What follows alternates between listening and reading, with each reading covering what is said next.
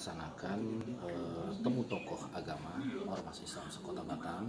Ini di dalam rangka tindak lanjut eh, pasca pelaksanaan pemilu presiden dan pemilu legislatif di mana kita juga sudah ketahui secara bersama-sama eh, di tengah masyarakat ini menimbulkan eh, ada sebuah eh, persepsi-persepsi yang yang yang menurut kita perlu diperhatikan sehingga kondusivitas dan kamtipmas ini benar-benar bisa terjaga di Kota Batam dan Kepulauan Riau.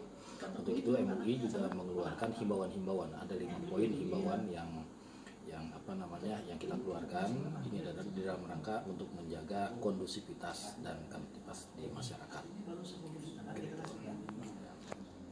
Yang per poin pertama itu adalah eh, kita meminta masyarakat untuk tetap tenang, ya, apa pun juga yang terjadi, eh, maksudnya eh, yang di hasil quick dan segala macam untuk tetap tenang, menyikapi dan tidak terprovokasi.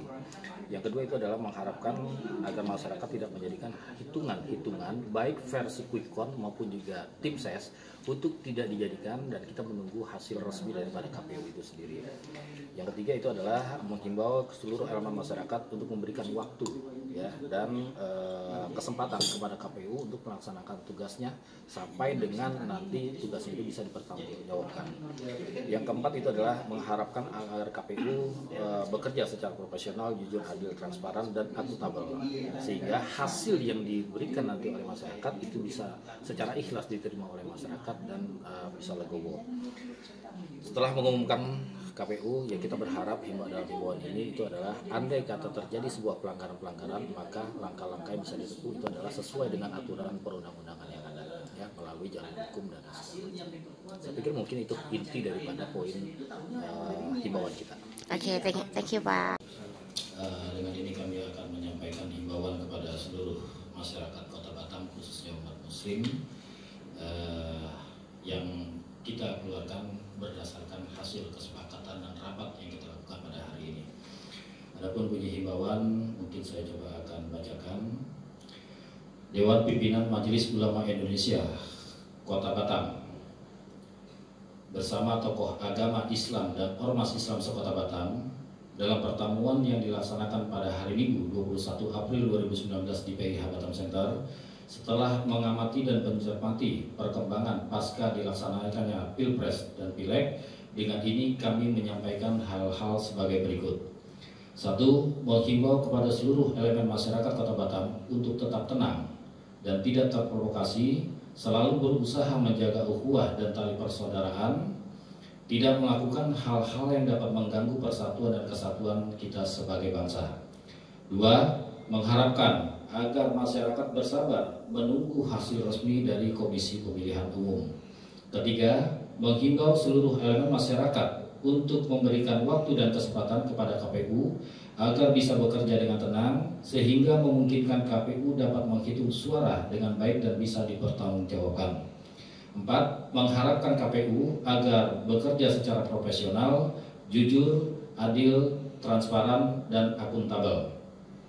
Lima, setelah KPU mengumumkan hasil perhitungan, lalu ada yang berkeberatan, menghimbau agar persoalan tersebut diselesaikan melalui jalur hukum sesuai dengan peraturan perundangan yang berlaku. Mari, tetap kita jaga tali silaturahmi antara kita dalam bingkai persatuan dan kesatuan. Semoga Allah Subhanahu wa taala senantiasa memberikan cucuran rahmat dan hidayahnya kepada kita semua. Demikian himbauan ini kami sampaikan atas perhatian kami haturkan terima kasih. Wassalamualaikum warahmatullahi wabarakatuh. Dewan Pimpinan Majelis Ulama Indonesia Kota Batam, Kiai Haji Usman Ahmad Ketua Umum, M. Santoso sebagai sekretaris beserta nanti ada lampiran daftar uh, ormas-ormas maupun tokoh yang hadir. Baik, dengan dengan tadi ada lagi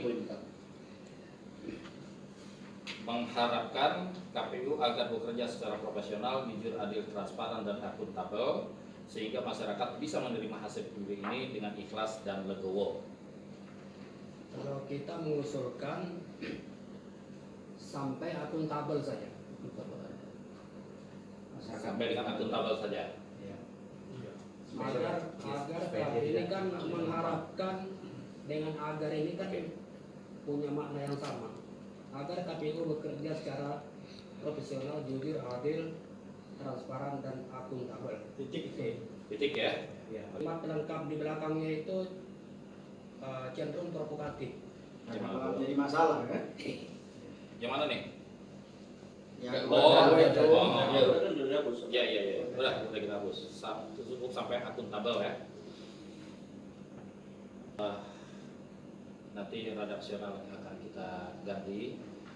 Eh, dan memang insya Allah hari ini juga eh, himbauan ini kita akan coba publikasikan dan publikasikan sehingga paling tidak masyarakat hari ini ataupun juga besok ini bisa mengetahui bahwasanya para tokoh agama di Kota Batam ini juga memberikan perhatian dan memberikan eh, apa namanya turut berkontribusi memberikan kesejukan dan kedamaian terkait dengan persoalan ini. Mungkin itu nanti di akhir eh, sambil nanti kita ini kan kami berharap di sini juga sudah ada media nanti kita akan coba ada yang mewakili ya membaca dan kita berkumpul di sini untuk dipublikasikan Eh, dan insya Allah nanti sore selepas dari sini redaksional akan kita perbaharui dan kita nanti akan sosialisasikan atau juga kita sebarkan melalui grup-grup media sosial yang ada baik WA dan segala macam.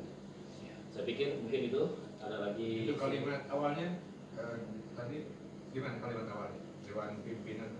Ya, Dewan Pimpinan Majelis Ulama Indonesia MUI Kota Batam setelah mengamati dan mencermati perkembangan pasca dilaksanakannya Pilpres dan Pileg mengajak seluruh komponen masyarakat Kota Batam untuk tetap tenang Penulisan pasca sekarang itu pasca. pasca ya. Ya. C ganti K. Oke. Pasca dilaksanakan Pilpres dan Pileg mengajak seluruh komponen masyarakat Kota Batam untuk tetap tenang. Eh, di sini eh, mengajak ini ganti menghimbau. Kan Menghimbau, ini ya. atasnya menghimbauan kan? menghimbau ya. Nah,